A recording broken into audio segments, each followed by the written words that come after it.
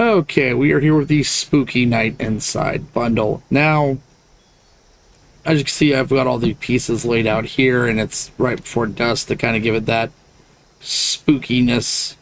Now, at first, I actually thought this was going to be kind of like a hidden door when I originally saw it, but it actually is a games cupboard, which actually does make board games, which is nice for, you know, either decoration purposes or, you know, like when they have one of those challenges. Um, now, as you can see, it does have a nice little good design here.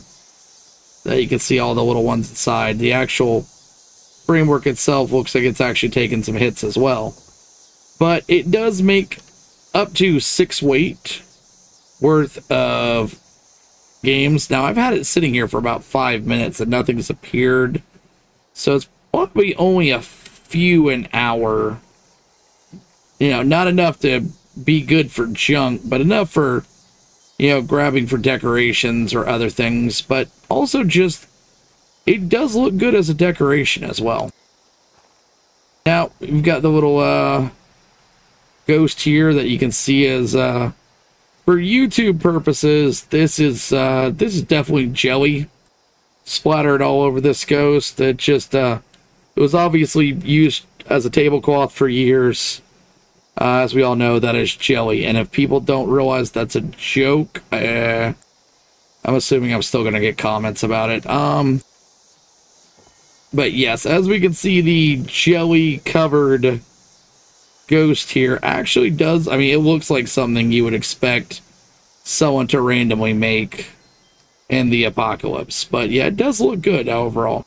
Next up, we have the anatomy of a plushie doll. No, I'm just kidding. It's the Mr. Bones Fuzzy. But if you've ever wondered the horrible truth of those plushies, is they're apparently full of this. And yeah, that is honestly, they did a good job at making it somehow kind of cute and kind of creepy, but definitely Fallout Halloween vibes. Next up, we have the Prank Radroach, which is literally just a Radroach that sits there like that. It looks kind of cool. Honestly, I kind of wish we had more creatures like this. It would be fun to have like different things that we could put down, like a Radroach Ranch or something, you know. Have them like just sitting there looking like they're actually doing something. Next up, we have the actual jack-o'-lantern ones. And you know what? I thought at first I was not going to care for these. But when I saw them actually, they look so much better in person. You can see they actually white up the actual thing underneath them. But they're just normal containers that someone in the, you know, the Fallout universe turned into jack-o'-lanterns because they didn't have access to it.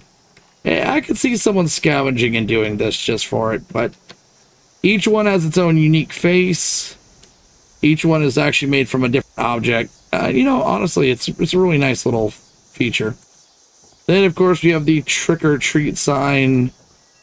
Uh, honestly, it's just you know, it, it's just a trick or treat sign. It's cool looking, but not a 20 minute lecture on that worthy.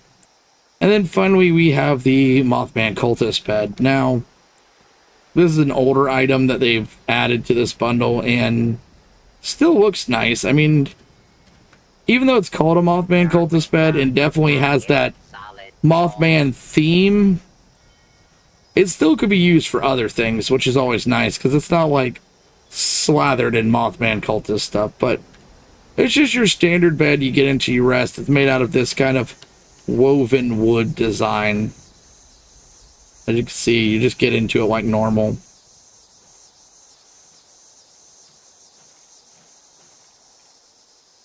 But that said, this is the bundle as we have it right now. And I hope everyone has a safe and fun Halloween month.